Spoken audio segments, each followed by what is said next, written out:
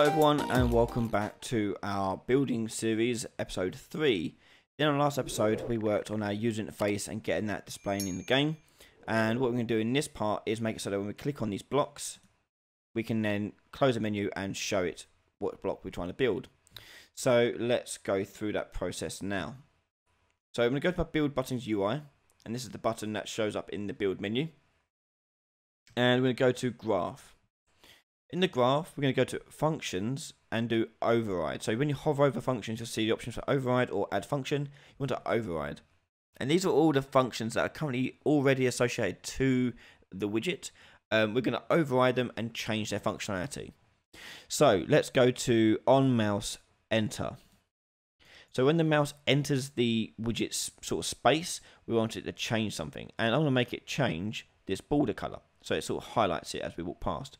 So I'm going to change the name of the border here to be um, background. Oh, let's make sure it's not capitals. Background color. And tick is variable. Hit compile.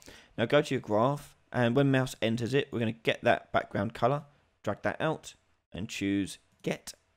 And then from there, set brush color.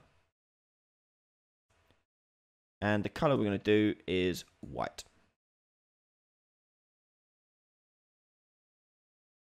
Next, we're going to do on mouse leave. So go override on mouse leave, and we're going to make it set back to its default uh, color. So set brush color, and if you want to know which color that is, go to your designer, click on the border, go to brush color, and I'm going to drag that to the top here. So we can just remember it's alpha 0.2, but if you want, you can drag it to the top, and it will save it there for you. So you go to graph, brush color, and you can click it up here. This one's going to do a full white. In fact, let's make it not so full. Let's make it 0.5, for example. And then this one's to do a, a, a back to normal, which is 0.2. Okay, that's that. Next, we're going to uh, actually let's change my name text here to be all this text here to be black. Um, so I can actually see it against the colours here. Actually, I think it was fine as white, wasn't it? Let's put that back to white. We'll see how it looks. So let's close that and push play. And if I point up the menu, I can hover over the mouse. So you can see it change the colour. And I think the white text is still fine. We'll keep it as white. Okay. So that's how you do that bit. Next, we'll make it so when you click on it, it does something. So on Similarly, rather than doing on mouse enter or mouse leave, we go to functions, override, and you'll see on mouse button down. And you get a different type of function come up. So from here, we're going to detect which mouse button was down. So go from mouse event, and we want to get, um, we'll get affecting button. And then from there, we can get equals to. And we want to do the left mouse button. Like so. So this will only work if the mouse button is the left button that's being pushed. Okay, so when the mouse button is this is pushed, we're going to do a special thing. Okay, we're going to do an event dispatcher, sending it back out.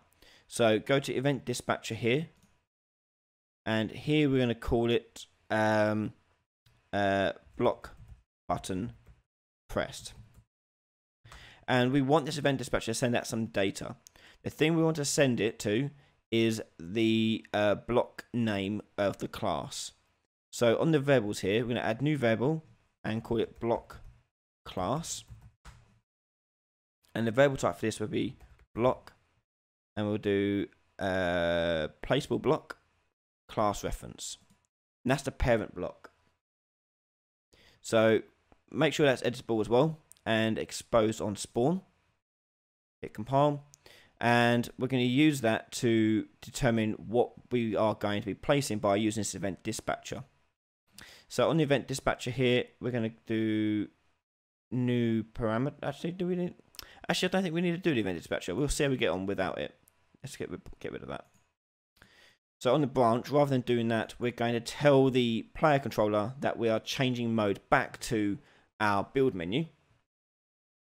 So for that, we're going to go to our player controller. And we want to be able to call this event as well to toggle it off. Okay, so let's make another custom event in here.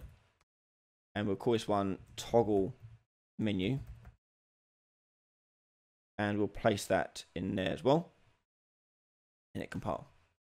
So on my build buttons, we're going to get player controller, cast to my player controller, and then as my player controller, call the toggle menu event. So that'll toggle the menu off. It's fine, but we also wanted to send over which um, button we, uh, what block we're using. So my player controller is going to change somewhat. We're going to make a new variable in here saying what mode we're in. I'm going to call this one is in build mode. And this will be a boolean which is either true or false. By default, we'll leave it as false. And the variable we also want to click here is um, block class like so.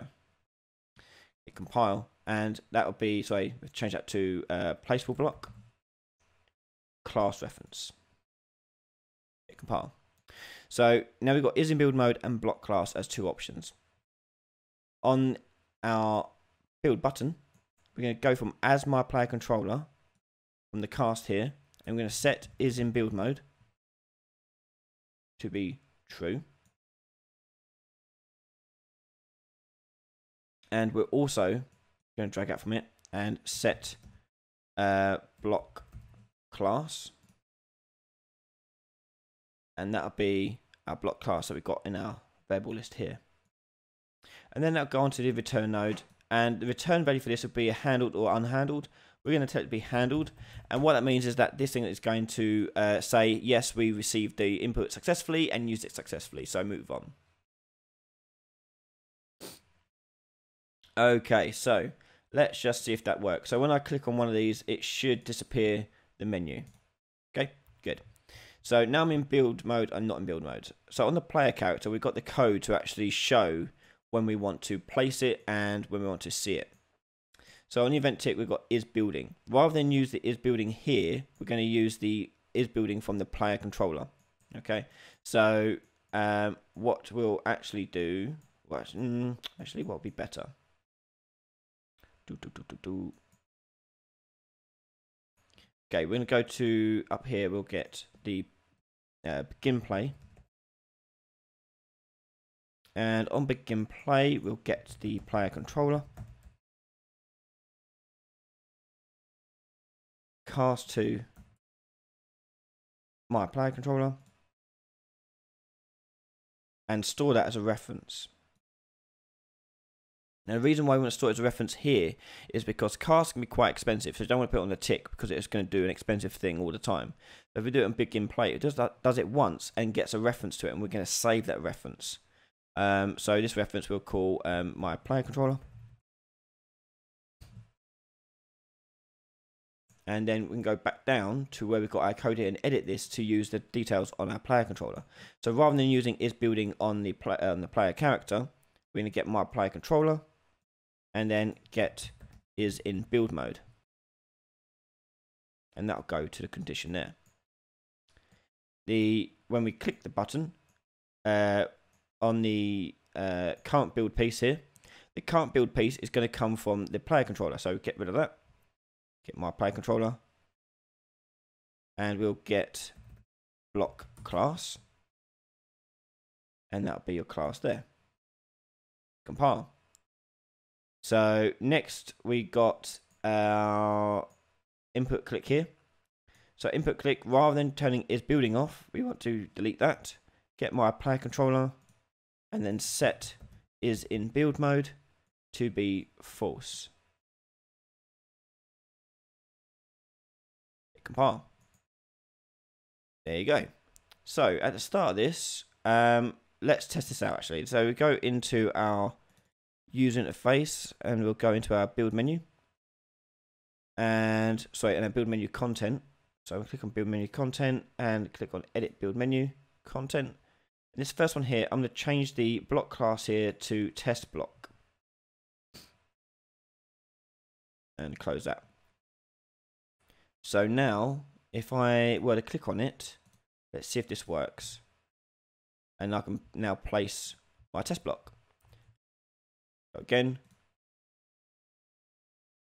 Go again. And you get the gist. And there you go. So that will happen every time whilst we are uh, building. So it will turn off the building. If you want it so you can keep on building and not turn off the build mode, you can do that too. So uh, we've got an error accessing build piece. Uh, let's go back into that. That being the player control uh, character. And that's probably on this bit here. So I'm just going to convert that to a get validated get. And only if it's valid, do that. So, um, and we'll do it here as well. We're doing is valid for this as well.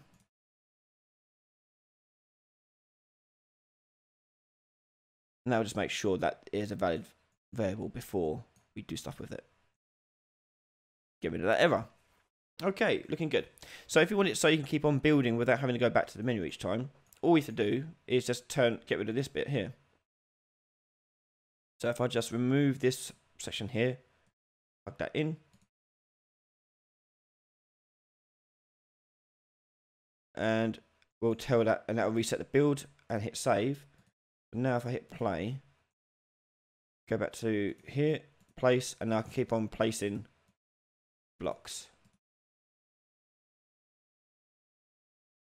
So,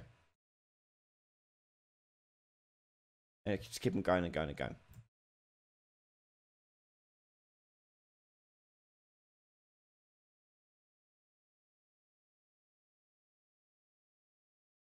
But there you have it.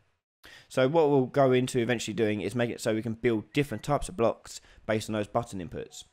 So that will come from uh, making sure we can build stuff when we have ingredients. So next episode we'll start working on the inventory to make sure we've got enough uh, ingredients to actually build the pieces that we are building. So join us in the next episode right now over on patreon.com forward slash Ryan Laley, where you can watch that next part plus many other videos before anyone else from just $1 a month. Big thank you to all of my supporters so far over on Patreon. This wouldn't be possible without you guys, so thank you again so, so much. Other than that, make sure you've subscribed to the channel, hit the little notify bell, and if you have any suggestions or questions, leave a comment below. Thank you for watching, and I'll see you all next time. Bye bye.